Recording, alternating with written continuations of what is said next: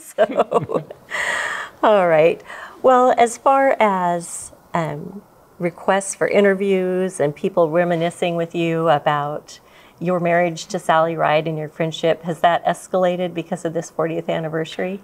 Um, I would say so. Uh, in fact, it had escalated to the point where I started asking myself, is something going on? And then uh-huh. I realized it was the 40th anniversary of STS 7. Mm-hmm. Uh, so I had not, you know, I had not processed that until mm-hmm. I was getting requests to talk about Sally. And I, mm-hmm. you know, was wondering, you know, I'm a, that's, you know, that's an interesting request. I get some of them from time to time, but mm-hmm. I was getting more than normal. Right. Well, and and there have been a few biographies and great stories written about her, and I haven't read any of them completely, but I assume that you were interviewed for those as well. Yeah, yeah. Lynn Sherr wrote probably yes. the, you know, the comprehensive story about Sally mm-hmm. in her biography. Mm-hmm. And she was a friend of both of yes. Yes. Uh-huh. Yeah. yeah. we had known Lynn. Uh, uh, she was a really good friend and and uh, has stayed you know, good friends mm-hmm. over the years, and I'm still in touch with her uh, even now. Well, right, because she was going to help us with the event that we were going to right. have at, you know, yes. COVID, another COVID canceled event. So, did you know Sally before you were part of the astronaut class together? No, no, uh no. So. Although uh, this is a true story, although it may sound contrived. I, mm-hmm. um, I had always assumed when I applied that I would not be picked. And so I never really did the analysis of, you know, is it a smart move to give up a promising career in astrophysics for a two year temporary position at NASA uh, where I might not, you know, make the cut. And I remember when, when George, George Abbey called and told me I'd been selected, and I agreed to accept, hmm. that I had not really thought that through. And what I rationalized to myself was, you know, this is your basic once in a lifetime opportunity. And so that, you know, I'm going to do it. Mm-hmm. Well, I would say within two weeks, I had a chance to, I was in Chile at the time, and I saw a newspaper and uh, the, the newspaper article was about this woman physicist from Stanford named Sally Ride. And somebody had asked her, you know, why would you, you know, agree to, you know, go work for NASA? And she said, because it's basically your once in a lifetime opportunity. and I thought, well, that's interesting. she said exactly the same thing that I was thinking, but I hadn't met her yet. Mm-hmm but that was my first awareness of, of who she was. Right. And that sense of connection, yes. at least in reasoning. So, astronaut class eight, the 35 new guys. Right. Right. So, that was a big shift for NASA mm-hmm. because prior to that, um, I believe all the astronauts were test pilots. Um, with the exception of uh, there, there, was a class selected in 1967 mm-hmm. that was primarily scientists. There was some engineers. Um, so they were not test pilots, but the first year that they worked for NASA, they got sent to pilot training. so they became pilots, not test pilots, but they all had to learn how to be jet pilots. So technically, they weren't all military test pilots, but most of them were. Mm-hmm. And certainly all of them were pilots that had gone through military flight training until the 35 new guys. Right. And 35 in the class of the eighth class versus seven in the seventh. So that was a, a big jump. Even some of the photos are hilarious. They just hadn't, NASA hadn't thought yet how to stage a big group photo. those, those were really amusing. So, with the 35 new guys, there were all these firsts. And not only that, but the role of mission specialist was introduced for the first time. So, was that distracting? Did it feel like a burden to be part of all of that newness at NASA? How was that environment? Uh, well, was I, I considered it to be a great privilege. Um, I probably initially had, I guess, what do they call it, imposter syndrome when you know, I'm in this room with 34 other newly selected astronaut candidates and I'm listening to what they all had done and thinking, you know, wow, that's an amazing group of people. you know, why am I here? Um, so, yeah, so I thought it was a privilege. I think many of us uh, understood that um, we were kind of representing something new. Um, in, in particular, in my case, because I could relate, I wanted to be an astronomer since I was really young, but I was aware of astronauts and I followed the space program closely and actually thought about putting telescopes in space one day. But I knew there was no chance I could be an astronaut because the astronauts were all test pilots. Back then, certainly they were. Um, but now, I think I and, and many of my friends knew that we represented, you know, a goal that other young boys and girls could aspire to. Because now you can be an engineer, or a doctor, or a scientist, uh, and have a chance to become an astronaut. And so that was a big change. And I, I think we felt kind of proud that, you know, whether or not I deserved to be there, I was there. And so that, you know, young kids, if they wanted to, could at least know they could apply someday and they could tailor their preparation to make them as competitive as possible. And that was different. I never, I, I kind of fell into it because I never thought I would have a chance to apply. Um, it just turned out for me kind of being in the right place at the right time when I was getting my PhD and looking for a job. And at that time, NASA started taking applications for you know this new program called the Space Shuttle. And they were looking for some of the skills that I had. And again, you know, that wasn't my career plan. That was going to become a research scientist. But um, so that that changed forevermore with you know the selection of the TFNGs. Hmm. So you were a young man, even a child, thinking we could put a telescope in space. And when that class, the TFNGs, were selected, was Hubble already in the works? Hubble, it depends on what you mean by in the works. About the time we were selected, uh, Hubble was authorized by Congress. Um, I remember the last, probably the last semester that I was teaching at KU, um, I was preparing to talk to some majors in my class about some recent Hubble discovery when I looked out and I saw that they were all younger than 28. and so it occurred to me, as far as they know, Hubble's always been there. And so I, I said, well, I'm going to tell them how Hubble came to be instead of talking about the latest, you know, quasar or black hole discovery. And it, it started in 1946 with a paper written by a famous astronomer, Lyman Spitzer, talking about the advantages of putting a, a modest sized telescope in space.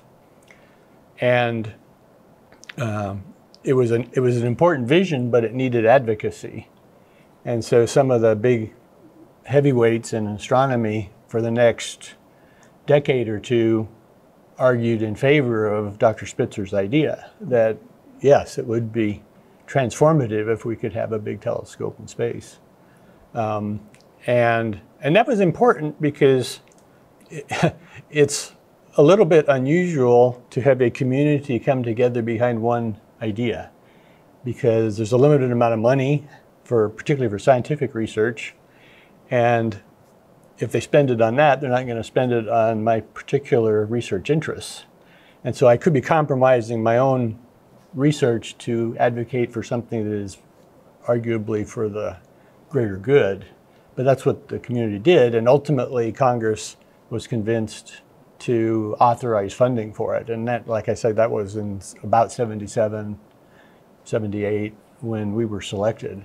So yeah, in a sense, Hubble was was already in work as a now funded project, but it was going to be, of course, you know, 12 more years before we would launch it. Although, when I was originally assigned to the Hubble deployment mission uh, was assigned 1985, and the launch was going to be 1986. So um, at least some parts of the project were ready to go. I don't think we would have made 86 anyway, but of course we didn't because of the Challenger accident. But you know, the development of Hubble took, you know, 10 years or so, uh, and uh, of course then it went on orbit, and it's been on orbit for 33 years. Think it had a 15-year design lifetime, so it far ex exceeded our expectations, both in terms of longevity and I think in terms of science. I remember when we were deploying it on STS-31, you know, I had an idea of how revolutionary it would be for my discipline, and I think I was conservative in my estimate of what it would do. Um, so, yeah, at the time we were aware that Hubble was in development. At least I was. I mean, maybe some of the others were. Um, although that mission, you know, we hadn't flown anything when we were selected. Uh, STS-1 was still, well, at that time it was probably still a year away. It ended up being more like, you know, three years away. Um, so I, I, remember, you didn't ask me this, but I, I, remember a few years ago I did an interview where uh, I was asked, you know, what did it feel like when you were selected by NASA and you knew you were going to fly in space? And I said, I didn't know I was going to fly in space. I was selected an astronaut candidate, which was a two-year job. I didn't know that I'd still be a NASA employee after two years. And he said, well, okay, so after you were promoted to astronaut and now how did it feel knowing you were going to fly in space? I said, well, that happened in 1979 and we hadn't flown STS-1 yet. You know, what if it didn't work? I didn't know that, that I was going to get to fly in space. Mm -hmm. So, uh, you know, we were all kind of, I think our horizon at that time was probably STS-1 you know, we all needed to make STS-1 successful or there wasn't going to be much of a career for any of us. It's fascinating. So many parts of that are fascinating to me. So, first of all, the, the unknowns as that class came together. But back to what you were saying about everyone who had to give something up for the greater good and I don't think the general public realizes that people can wait their entire career to get an experiment on the International oh, yeah. Space Station. Yeah, absolutely. And certainly the the slice of the pie out of the congressional budget for space research and for NASA is so tiny. Mm-hmm. And people hear the figure and think it's enormous. Right. But they don't realize what it means that all those researchers yielded their own interest and their own passion to Hubble and and probably laid the foundation for Webb and everything that followed. Right. So. I mean, you're right. That many people devote basically their entire career on one goal. Mm-hmm. You know, whether it's putting you know Hubble in orbit or putting an instrument aboard Hubble um, as a graduate student, you probably don't. You probably want to avoid those guys because it could take you, you know, 20 years to get your degree. right. You follow them down their own rabbit hole. right. Uh, but, but you know, it's that kind of, and again, that was part of my message to the my astronomy class was, mm-hmm. you know, these you know great things don't just happen. It takes people who are willing to devote their talents and their time, possibly for a long time, mm-hmm. and deal with all of the impediments and obstacles that come up in, right. in order to make something like that happen. Mm-hmm. And Webb's another good example. I, I remember um, 20 years ago, we were I was talking with some of the managers at headquarters, and we were discussing. I was an advocate of continuing to service Hubble on orbit, but there were others who felt, ah, you know, it's run its course. You know, we're going to have James Webb in, you know, in orbit, you know, in a few years, and uh, of course, it turned out it was about 20 years before that happened. right. But you know, people spent a long time trying to make it a reality, and and certainly in the case of Hubble and and Webb, the you know success speaks for itself. Mm-hmm. And. Webb's only been there a short time, oh, relatively oh speaking. So right, someday, will when I'm all settled in, we're going to sit out on your patio and you're going to use really small words and explain some of it to me. Like not not to a student here, but maybe if you were talking to a kindergarten class and then I could understand this whole speck on the end of your finger thing. like, wait. anyway, it's amazing. So back to the class and to Sally. Um, do you remember? So you'd heard of her, or at least read this article when you right. were in Chile, and um, do you remember your first impressions of Sally Ride? Um, not not specifically, but I remember uh, Bob Parker was one of the astronauts from the uh, 1967 class who were he was an astronomer and ended up you know they sent him to pilot training, but uh, he invited the astronomers and physicists over to his house, and so there was a small group of us there that included Sally, and that was probably my first chance to to really uh, visit with her and learn a little bit about you know what she did, and um, that happened in February of '78, where we were uh, all flown to Houston for a media availability. The announcement was in January, and then first of February we were in Houston. Um, and so that was really the first chance I had to meet her. But but I mean, she and and I think particularly the other women and the minority astronaut candidates as well. It may have been a little intimidating for me because they were, you know, they were special. They were, you know, everybody wanted to talk to them. Everybody wanted to, you know, the press wanted to interview them, and and you know, they were celebrities. And, you know, we weren't, which was fine with me. I was content to be a nobody. but uh, uh, yeah, I think I was probably a little intimidated by the fact that, you know, they were famous already. Um, and, you know, I was just, you know, one of the guys.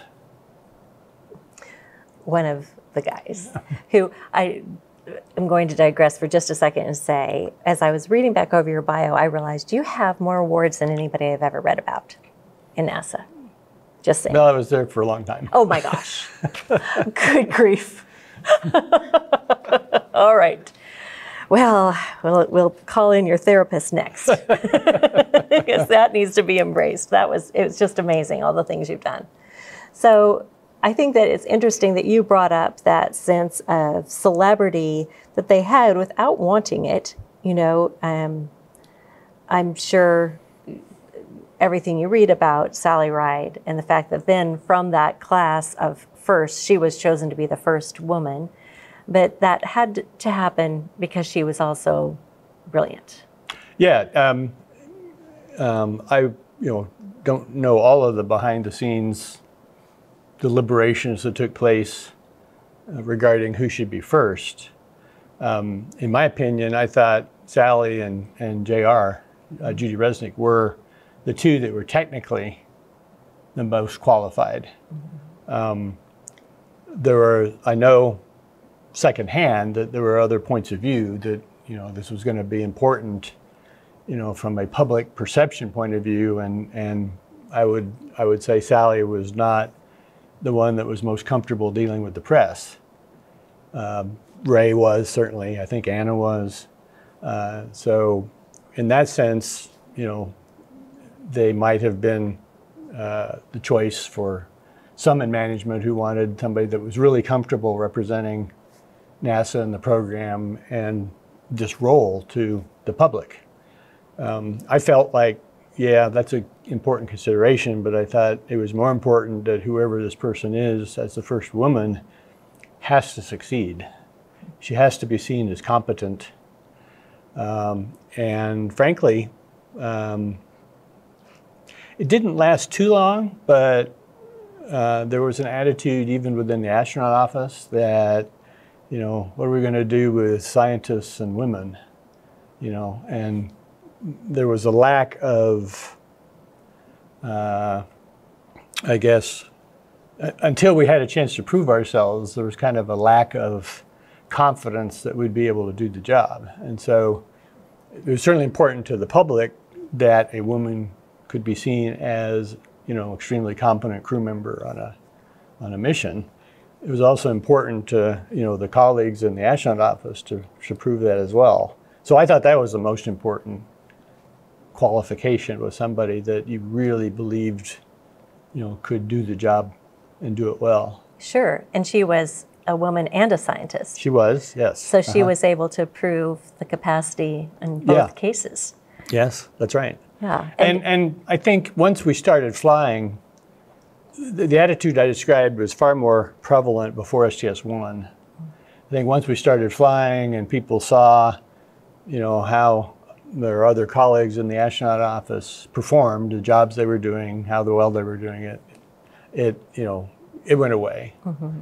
But there was a period of time where, you know, I felt like, you know, scientists and in particular the women, you know, were having to prove themselves to the to their colleagues. Right. For some reason, scientists and the work scientists do, compared to a person with military experience or as a daring test pilot, that they aren't the same as far as qualities, but they're very important qualities to have.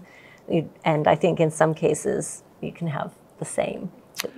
I, I, an obvious question over the years has been, um, you know, was it a real culture shock to mm-hmm. the astronaut office to ha- suddenly have women and minorities? Mm-hmm. And I always answered that by saying, well, yeah, but I thought that the bigger culture shock was having what I described as hardcore civilians, you know, like me and Pinky Nelson and Sally. And um, the way I described it once was, you know, if you you get a procedure, you know, uh, a military pilot will look at it and start thinking about how am I going to execute it. You know, the scientist might look at it and go, yeah, I don't think I'd have written it that way. but I think great. over time, the two cultures really worked well together. And I thought we ended up in a good place. Mm-hmm. You know, the, uh, the combination of the discipline of the military, but uh, maybe the ability to be creative of the scientist.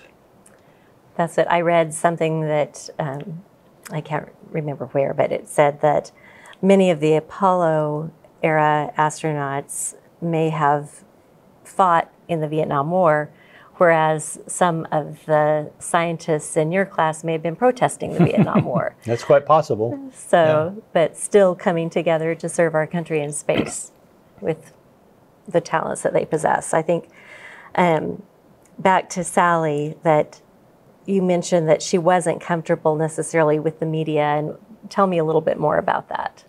Well, I mean, she and I were alike I think, in the sense that neither of us suffer fools very graciously.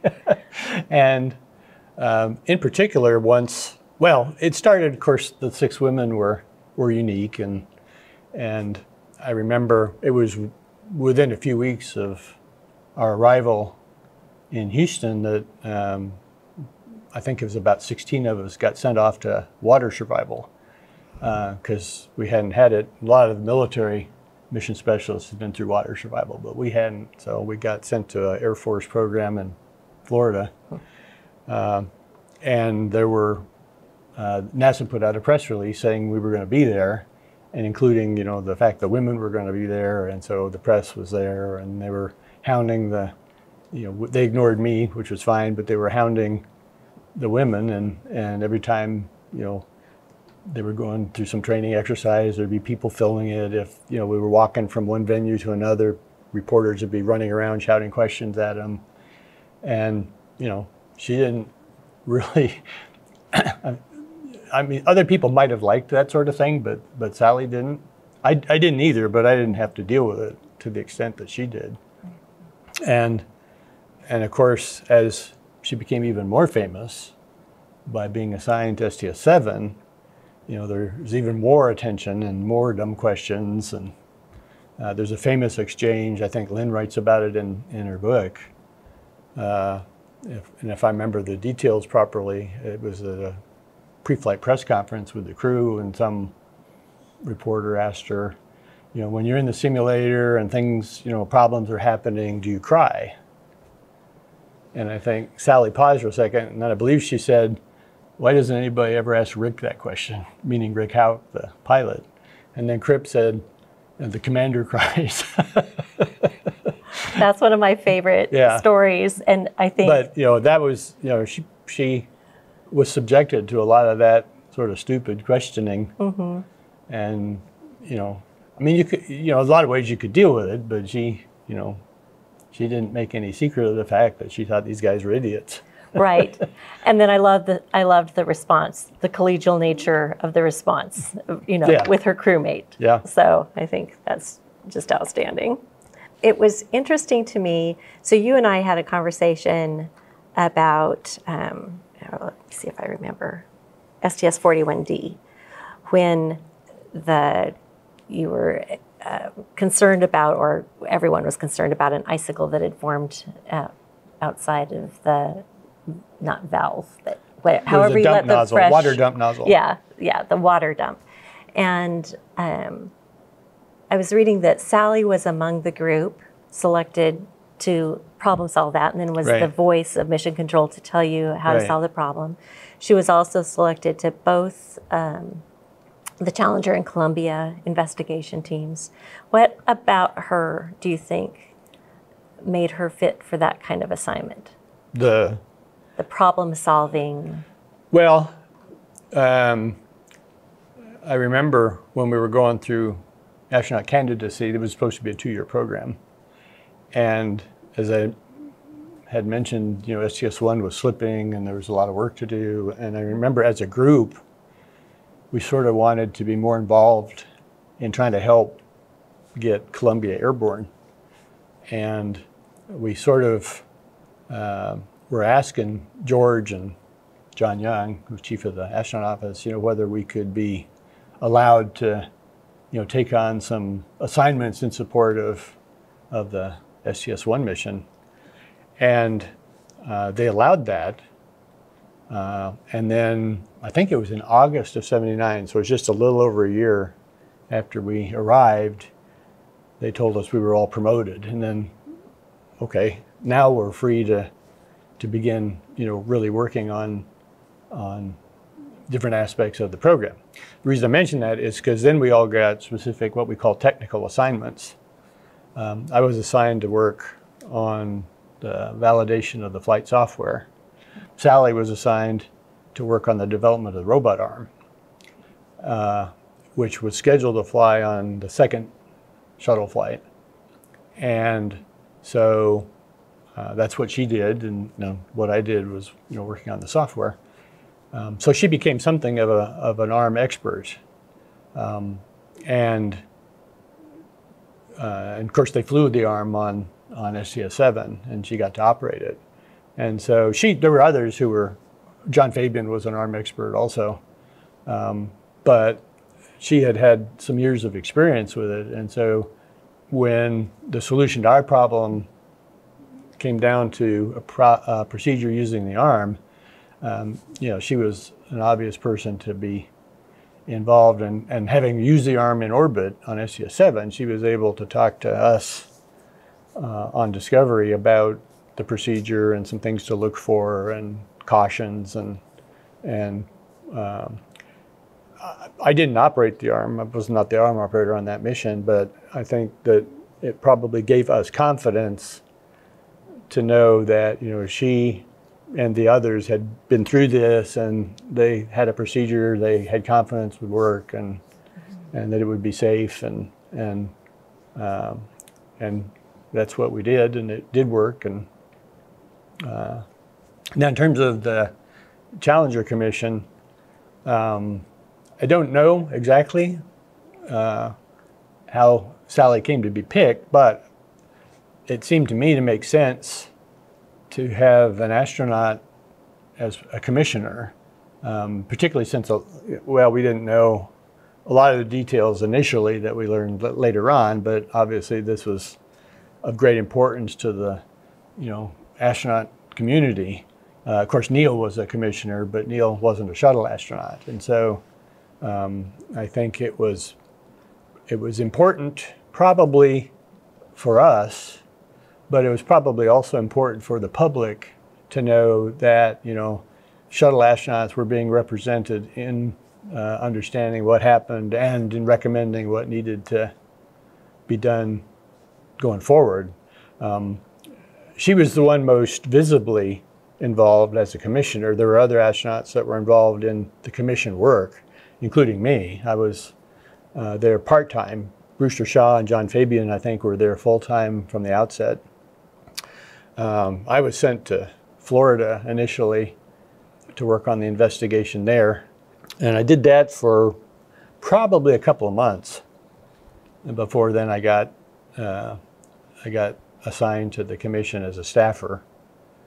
Um, so we had a lot of astronaut involvement, but she was the one that was, you know, visibly representing, you know, the astronaut concerns and and the fact that you know we were part of the determination of what happened, and we were going to be part of the plan that was going to represent how the program would be executed in the future. Mm-hmm. It's also interesting to me um, that she doesn't necessarily fit the mold in that she didn't decide she wanted to be an astronaut, focus on that entirely. For a bit, she thought maybe she'd play professional tennis. But as a young child, the two of you share that you had a passion for astronomy. And in each case, you were each gifted a telescope by your parents. And did you ever share any of those memories of what it felt like when you were little looking through those telescopes? I don't remember talking about that specifically, although um, I, I, think it was important that as a young boy mm-hmm. and a young girl, that we're both passionate about something. Mm-hmm. And I think it was the passion for science that allowed us to be in the right place at the right time uh, when NASA was looking for, for shuttle astronauts. Mm-hmm. Um, I've had over the years a lot of students come and say, you know, hey, they're interested in working for NASA or being astronauts. Um, do I need to take astronomy? and I say, well, um, no. I said, good because I don't like astronomy. and I said, well, that, that's fine. You know, find something you do like. You know, because if you don't you're doing it just because you think it's going to help you go work for NASA, you're probably not going to do it very well because you aren't passionate about it. You need to find something you're passionate about. And and we were both passionate about about science, and um, I think it helped both of us end up being part of the TFNGs. We didn't talk about science a lot, um, frankly, because uh, I think we both felt from the beginning um, that if I'm really going to be successful, there are other things I need to worry about. I mean, I need to worry about, you know, shuttle software, or I need to worry about thermal control systems, or, or uh, how the RMS works. Um, I think I published one paper after I reported for duty at NASA. Um, I thought, frankly, that I would have time to continue to do some research, and that would be a hedge in case I got punted after the first two years. I could go back to doing astronomy. Uh, but I quickly realized that was impractical. Uh, and, and she did too. And, and I think uh, part of that was we both felt it would be important to learn as much as we could about this vehicle we were going to fly. But also, frankly, that became what we were interested in uh, you know, I was really interested in learning as much as I could about how all these things worked, and Sally was too. So we didn't really miss the fact that we weren't doing science anymore. Right. And then returning to science was a choice, and you both returned to um, teaching physics, both professors. Mm-hmm. So it's interesting that it all did evolve that way, but not exactly because you were punted. no, that's true. So, one other thing that I think is fun that the public may not understand is that it wasn't all just learning the shuttle. It wasn't, I know you've been referred to as the human computer of the space shuttle for your part in the software. Um, there was fun and, and music. So, tell me about Max Q, the rock band. And uh, was that all um, members from the class of 35? Almost, not quite. Okay. Well, what happened after Challenger um, and after the commission had issued its report and the program was now in a, a phase where we're spending more time, uh, we were going through requirements, we were going through redesigns, we were looking at our operational practices. Um, we were not quite ready to fly. And um, several of us felt like um, maybe we should do some uh, event that was kind of a morale boost for the astronaut office. And I think it was Sonny Carter's idea originally. Um, so uh, we organized a sock hop.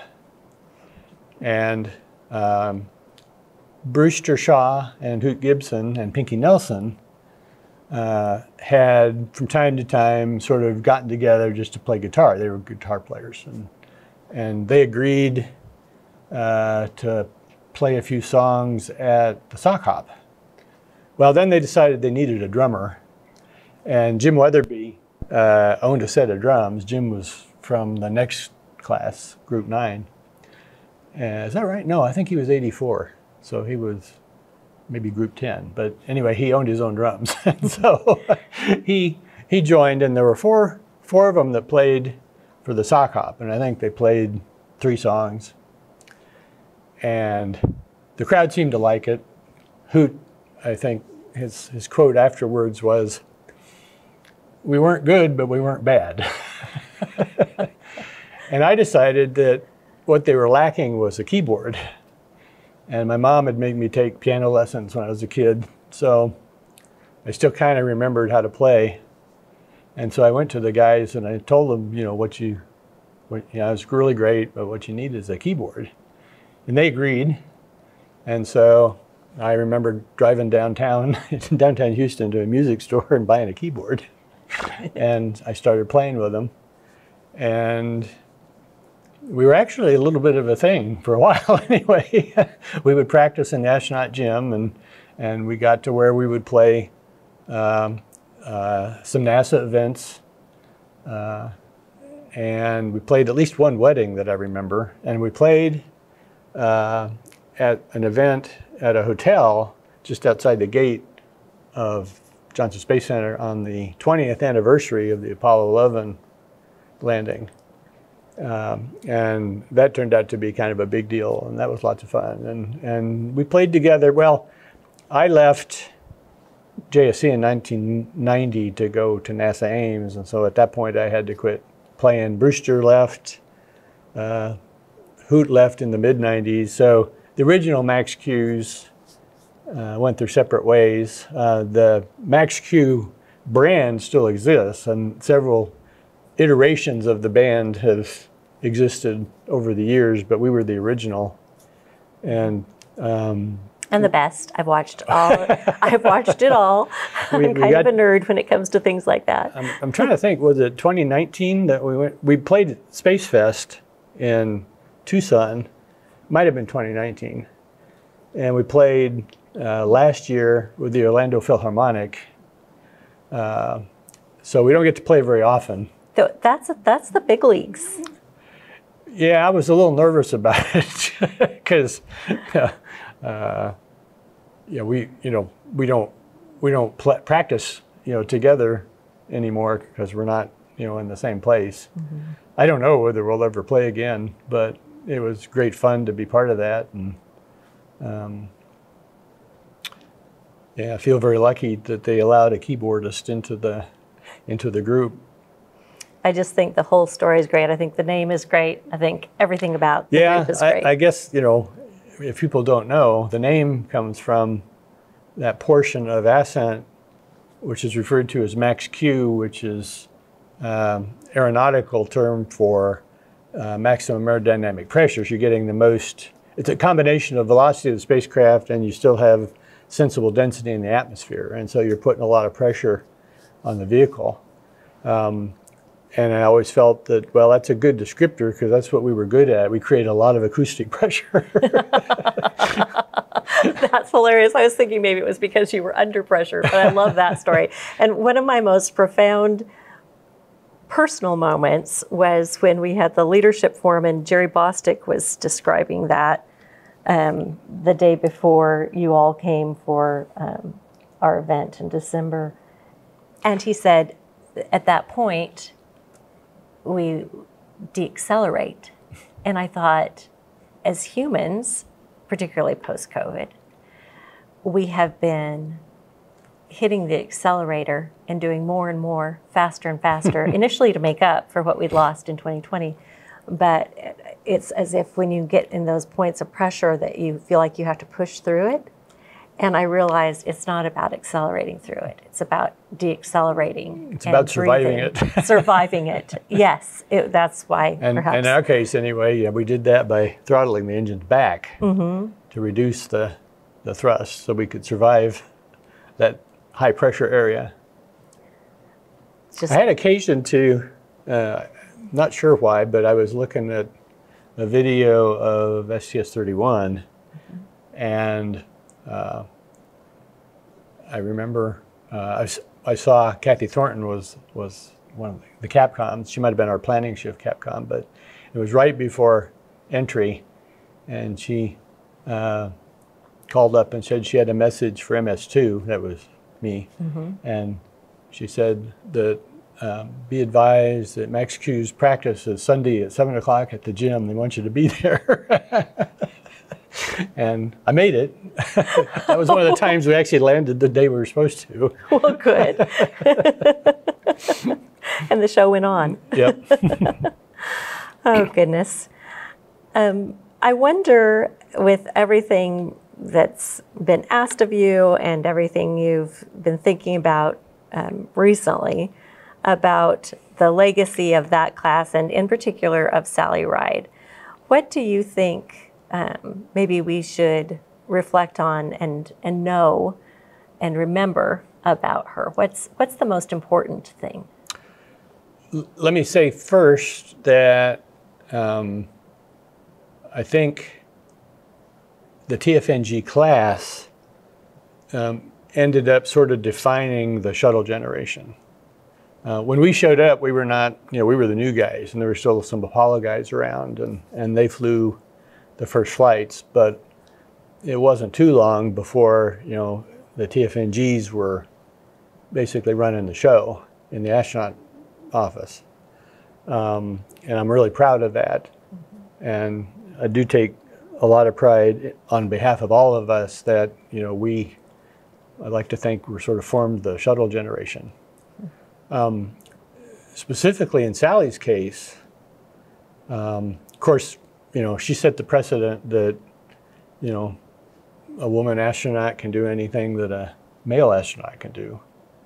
Um, but I think maybe, particularly 45 years, you know, later, from the time we were picked, 40 years from the time she flew, mm-hmm. um, people may not have known or remember, you know, how much pressure she was under. Um, there's no doubt that she knew that you know whatever she did, good, bad, or indifferent, you know, was going to reflect on all of the women to come. Um, and that was pre-flight, it was in-flight, and it was after the flight. Um, and I, I can tell you for sure that I know how much pressure she was under in all of those different phases. I think the flight itself was probably the easiest for her. Mm. And she was confident that um, she could do the job she was assigned, and now people were leaving her alone to just let her do it. So that was a bit of a relief uh, from all of the pre-flight stress that she was under, uh, and carrying, you know, this, you know, responsibility that, you know, you know, in hindsight, people may not have appreciated, you know, the that stress that she was under, and that she did it. Now, post-flight, the stress, um, maybe it wasn't quite as important to her to uh, see how to say this. Um, she was, she had a lot of obligations placed on her which I think she did not necessarily feel obligated to accept, which would have been different, you know, before the flight, you know, the obligations you pretty much have no choice. Uh, after the flight, um, she felt at least some discretion to pick and choose the things she wanted to do. And that by itself was probably stressful, dealing with, you know, a variety of requests for her presence that, you know, for whatever reason she wasn't really interested in doing. Seems like she was interested in the ones where she could make a difference in inspiring others and inspiring yes. in particular young young women. girls, mm-hmm. right? Um, and you know things that perhaps you know the White House wanted her to do were not, you know, in that same category. You know, if she's awesome. if she's being asked to fulfill someone else's objective, then she wasn't necessarily on board. But if it was something where she could fulfill one of her objectives, then she would happily do it. So she wasn't a political pawn. She tried not to be, yes. Whether she was or not, at times I think she probably was, but, mm-hmm. but that was not something that she wanted and, and sometimes wouldn't accept. That makes me like her even more. and what about Steve Hawley? What do you, from your career, want to be remembered for? And what do you think people may not know is of significance to you? Well, I don't know. I guess I've always um, wanted, particularly, you know, kids in Kansas to know that even if you grew up in a small town in central Kansas, you can do some really amazing things and be given some amazing opportunities. And so I want I want kids to know that. Um, and again, I another thing I suppose is that, as I said in my case, you know, being an astronaut was not something that I thought was possible. Something I thought about, but I didn't think it was a realistic goal.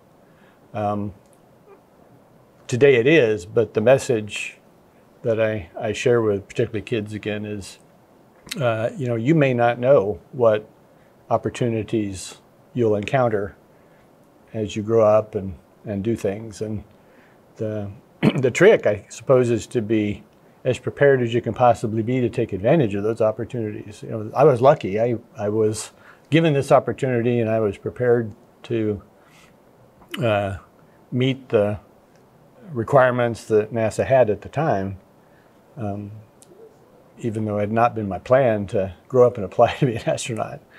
Just you know, be you know, be as good as you can be at all of the things that make you eligible to do things you might not imagine you'd have the chance to do. Wow, I'm feeling like a real slug right now. like the underperformer in the room. Is there anything else that you want to add? Well, I, I still find it sort of remarkable that, you know, I, I don't re- recall whether I said earlier, you know, yeah, I wanted to be an astronomer when I was a kid, and I followed the space program closely, and I thought about telescopes in space. Um, I'd also thought that if we actually had observatories in space, we would want astronomers to go operate those telescopes. And I thought, okay, so there may be this small chance that, you know, if I were an astronomer and was in good shape and, you know, all of that, I could go operate a telescope in space. And of course, that uh, didn't happen because I didn't foresee that you don't actually have to go there. you can send the data to the ground, which is what we do. Mm-hmm. Um, but in the end, I did get to work with telescopes in space. And so, you know, that dream sort of came true. And again, maybe that's just another thing for kids to think about is, is you know, your dream may sound crazy, but it could actually come true if you pursue it and, and do the things you need to do to uh, keep it as realistic as possible right because that was not there wasn't a, any basis in reality for you to have that dream. Nobody was doing that. No one was doing that at the time. Correct. And that's what is not just important to students to remember, but to all the adults who encounter those students. Yeah. That it may not be as far fetched as it sounds. Yeah, I mean, you know, I don't know if other people were well, obviously other people were thinking about putting telescopes in space. I didn't didn't know any of them, but yeah, I mean, you could have a crazy idea and, you know, maybe you could make it come true. Absolutely. Well, we're grateful. We're grateful you're in Kansas, grateful you're a friend of the Cosmosphere, and that you make time to visit with me. I, I always appreciate it. Yeah, you're welcome. All right. Well, I think that's good as far as I'm concerned. I um, didn't necessarily want to tell the, the story. I wouldn't have minded, but it, mm-hmm. it seemed like it was maybe not totally relevant. But I was, something reminded me the other day um, Sally and I had gone to California for a weekend. Do you want me to cut? Nah, that's right. Okay. Um, and I don't remember exactly when it was. I think it was in April of 82, might have been. But um, we went to Disneyland for one day, and then we spent another day at her parents' house. And uh, then she got a call that she needed to report back to George's office Monday morning. And that was an issue because um, we had flown out together, but I was going home on Sunday to go to work on Monday, and she was going to stay an extra day. And um, now she has to go home on Sunday, and these were our tickets, not NASA's tickets. You know, we had paid for these. And so I was trying to figure out, you know, what to do. And I, I called the airline and I said, hey, can I just, can we just swap tickets? And they go, that's not how it works. and so uh, I realized that, you know, her ticket said S. Ride on it and my ticket said S. Hawley on it. And so I just gave her my ticket, which was for the Sunday trip home. And so I went home on Monday as Steve Ride. so I could use her ticket. Now, back in the day, they didn't check IDs or anything, or I'd have probably gone to jail. but that but, was great but, problem solving. but the reason they wanted her back was they were telling her she was gonna going to be the one, be the one to fly STS 7. Hmm. Didn't you two, uh, if I remember the story from the Coffee at the Cosmo correctly, didn't you uh, I don't know if you call it check out a T-38, but somehow you got your hands on a T-38 during the eclipse. Wasn't that you oh, and yeah. Sally? And Sally and Pinky. Mm-hmm. Uh, I don't remember. I think it was Pinky's idea originally mm-hmm. um, to go chase the eclipse uh, in the jets. And we both thought that sounded like fun. And so we tried to com- come up with a rationale that we could sell to management for why we should do this. And, you know, we argued that, oh, well, you know, it's a, like a lot of the stuff that we'll be expected to do, you know, when we're assigned to a mission, you know, we're flight planning, we're taking data in a dynamic environment, we're having to coordinate with a bunch of other people. And, and George ended up buying it. I don't know that he bought our argument, but he told us we could do it. And so we got three pilot volunteers. Hoot was one, Mike Coats was one, and Dick Scobie was one. and we flew up to Montana, and the next day was February 79. I don't remember the specific date. Yeah, we took off from uh, Air Force Base in Montana and flew the eclipse track and, and got pictures, which at that time was a little bit unusual. There hadn't been a lot of airplane uh, chases of eclipses with photography. So you know, I don't know that there's a lot of science that was learned from our pictures, but at least they were a little bit unique. You know, pictures of an eclipse taken from an airplane. Uh, and when we we recovered into South Dakota, into Rapid City, Ellsworth Air Force Base, which is, of course, right by Mount Rushmore. And so the next day we took off to fly back home and we had a little film left. So we took pictures of Mount Rushmore as we were leaving. uh, so yeah, that was kind of a boondoggle, but we, we did manage to sell it as a training exercise. I love that. And how old were you then? Oh, uh, let's see.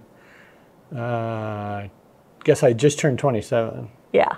What a fun, I mean, you know, some kids might think it's great to, in their 20s, go on a Eurail pass uh, across Europe and you checked out jets. yeah, as it turned out, that's what we did.